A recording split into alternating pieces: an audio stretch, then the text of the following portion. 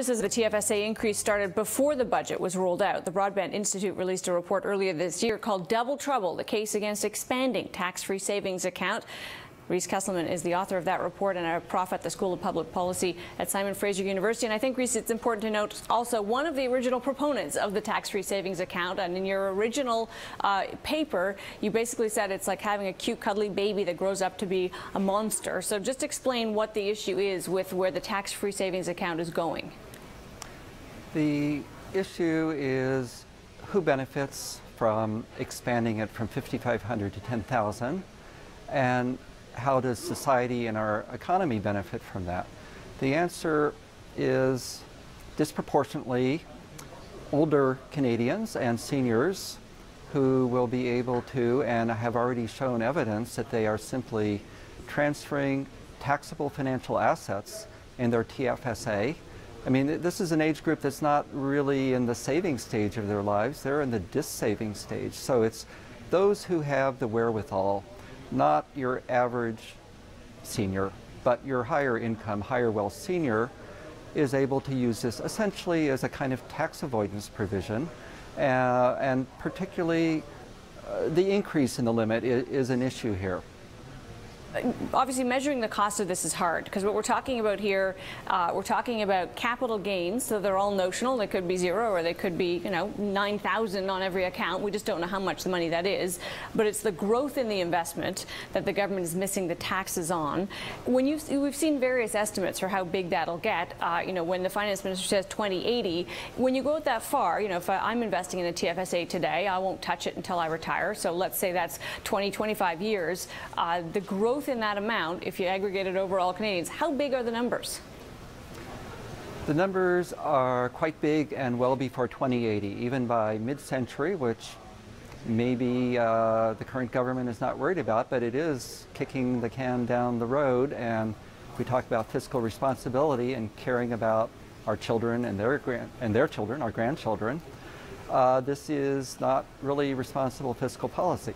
The numbers that others have come up with, uh, the uh, Parliamentary Budget Office, uh, other academics who have looked at it, suggest uh, could be on the order of $15 billion a year, split about two-thirds to the federal government and another 5 billion missing from the provincial treasuries. And here we're talking more um, 30, 40 years down the road. Uh, and the problem is it grows slowly, this revenue loss.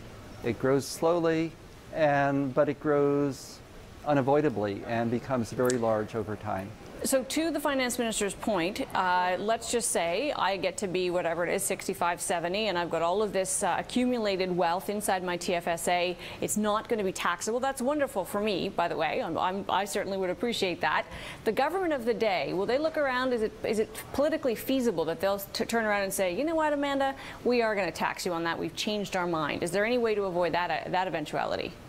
I can't speak about future governments. Sure, it is possible. This has happened in other countries in somewhat analogous situations.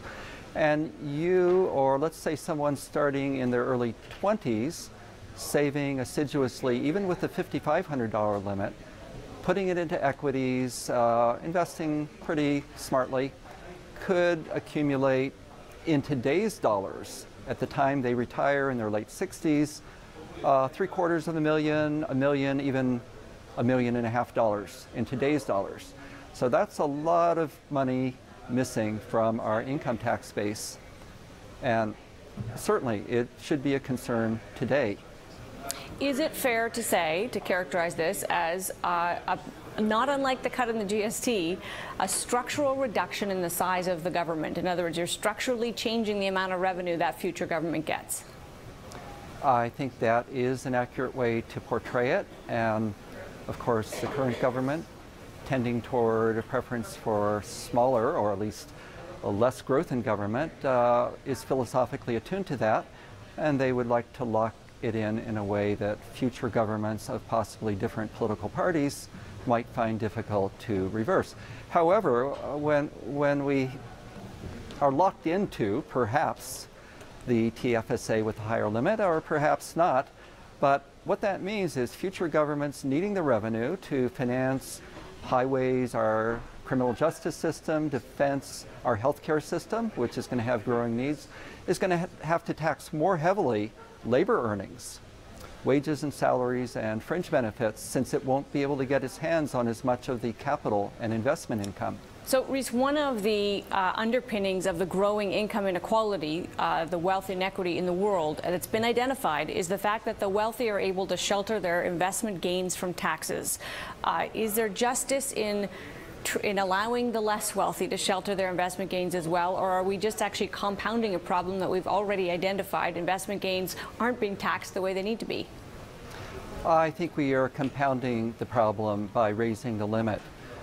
The TFSAs already, with their current $5,500 limit, or current before yesterday, were disproportionately being used by higher wealth people, putting in larger amounts and saving larger amounts of money. And we can see over time, the, at least the data for the first four years, 2009 to 2012, which we now have in hand, that individuals maxing out their cumulative limit with the $5,500 figure, uh, very few young adults were maxing out their, their, their limits, uh, probably less than 10, fewer than 10% of them. Whereas among seniors, uh, more like 40 odd percent were. And I think we've got to keep in mind, although the TFSA is advertised as something for every Canadian, three out of five Canadians over age 18 who are eligible to open an account, three out of five have not even opened one. And of the other two out of five who have opened one, rather few, except for older workers and seniors, have actually used the maximum allowed with the $5,500 limit.